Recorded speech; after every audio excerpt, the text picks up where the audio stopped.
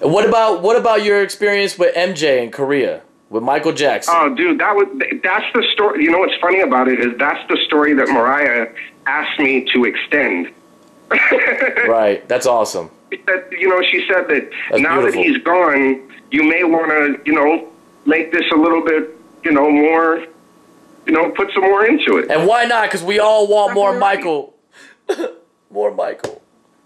Dude, but that was a crazy story. You want to talk about a night in history? I mean, it's me, Mariah Carey, and Luis Miguel standing on the side of the stage. Damn, stage. Luis Miguel was there too. Oh my god. Yeah. Now imagine me, okay, the little small town Santa Barbara white kid, you know, whatever, whatever. I'm standing on the side of the stage with Michael Jackson, Mariah Carey, and Luis Miguel.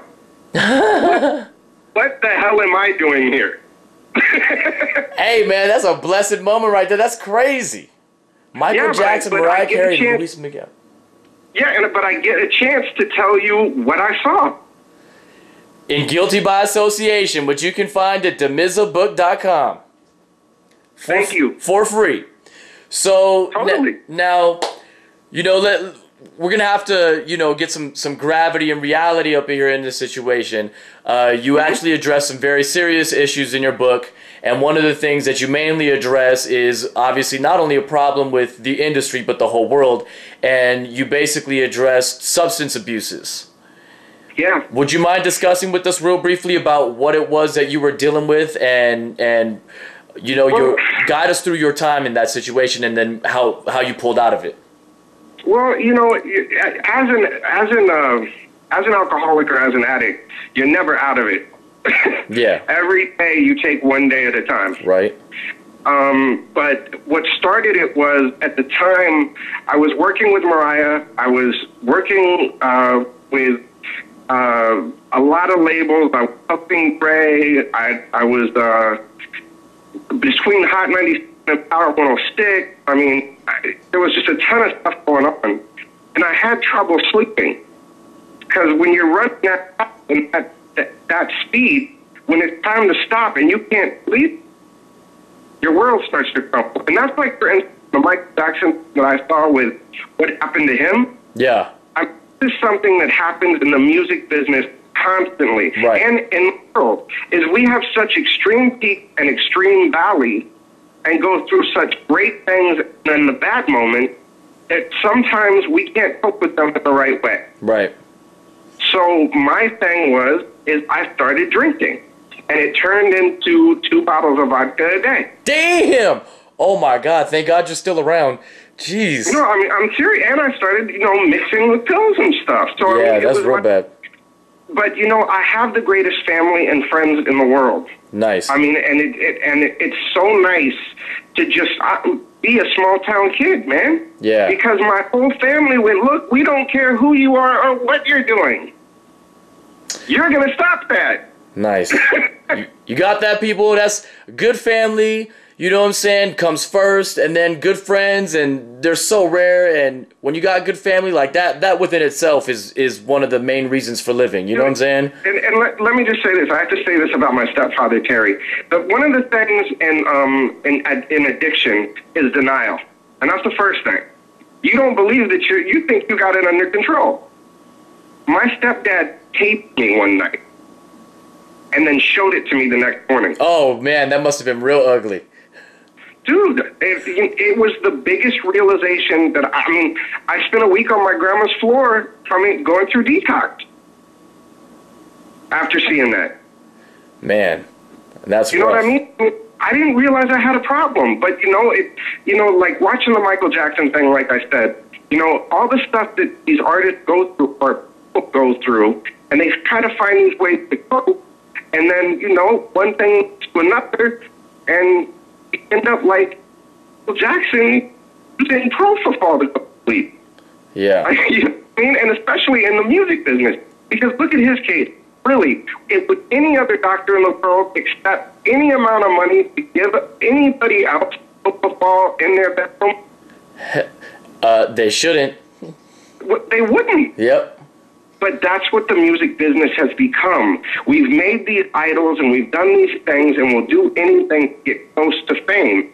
And that's one of the perils that I put about in the book is like, look, music business is worse than the crack you can lose your life. You can lose your soul. You can lose everything, or you can enjoy it and not take it too seriously. Live through it. Nice. That's an awesome message, bro. Mean, it's the truth, and that's why, again, it's it's just free. I, you know, I, I'm not trying to make a buck off my story or say, look me and look what I did. I'm saying, look at what anybody can do if they dream, and if you mess up that pick yourself up, fix it, and apologize, and move on. Well, Damion, man, you uh, wow, you you you're you're bringing people into the core of the hip hop industry and and mixing it with the the spiritual realizations that a lot of the industry tends to overlook, and uh, the fact that you're giving away your book, which is something that you will never. There's nothing free in this world these days, unfortunately, um, uh, uh unless it's uh, internet porn. you know, you know what I said though. I did say this though on the website. I said if you like the book please donate to my favorite charity. Damn! He didn't even want a donation to himself. Donation to his favorite charity, y'all. The, the, the, the Teddy Bear Cancer Foundation, and you'll read about it in the book with a girl named Becca Saladin who had just a quick thing about Mariah Carey again. This little girl was dying of cancer. And you'll read the story in the book, but Mariah helped save her life. Like, it, through music. So there's so much there that just it's real and it's heartfelt, dude. It all ties in. Yeah, that's real powerful, man. It's, it's a lot of documented cases if uh, you know people who are cancer patients that might have some kind of an experience with either a, a celebrity or an idol or you know certain times where certain of uh, uh, music or songs from their favorite artist will, will actually help them in the healing process. And you know when you got these people that, that have these special gifts but that they're also humble enough to reach out to people in person i mean that's that's a beautiful thing and it's got to be a great thing to witness. Well and especially when it saves a little girl's life. Damn right you know what I mean? Like, and you get to see it. You get to see a miracle. I mean, that moment changed my life. I mean, in where, where I was in the in the business, I was a jerk.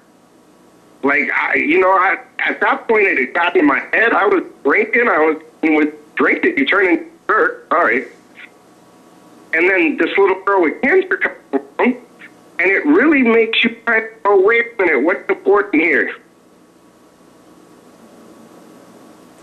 And those important messages are shared in Damion's book, Guilty by Association, that you can grab at damizzabook.com for free.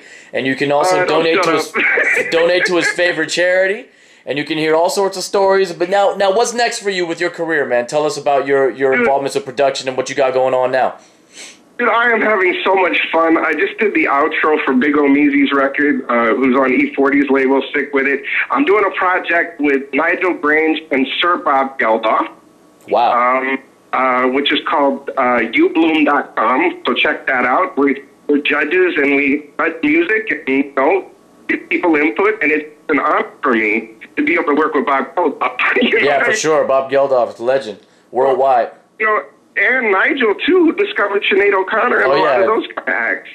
I mean, it's a dream come true, and the label's doing great. I mean, you know, we did the LA Blues Alliance, and oh, we just put out Secret Agent Man that we recut with P.F. Sloan, who's the original writer, Agent Man. I mean, I I have this diverse label. I can do rap, I can sit around and beat the Secret Agent Man awesome. hey, I'm a secret Asian man. no doubt. That's awesome. And you got a good sense of humor, so God bless you. you too, bro. You too, bro. So well, th- I really appreciate your time, dude. Yeah, man. We thank you for uh, for you know your willingness to share with us and let us know what you know the fact that you're you're basically you're being very generous in the spirit right now with with all the things that you're sharing. You're you're giving people life lessons. You're showing people monumental moments that they might not be aware of of things that you know they they were aware of in the in the public view. But the behind the scenes the things that you're willing to share to to help guide other people's lives man that's that's an incredible blessing in these days. And we're glad you're a, a part of the positive force. You know what I'm saying I, you know, I can only do my part, but you know, there's everybody's got to do it together. We, it's, it is one race. We are the human race, and we need to get it together. Word, Damion. We appreciate that, man. Those are those are real words to live by, bro. Well, thank you very much for your time. I appreciate it. Thank you, Damion. Take it easy, bro. God bless you, man. Later.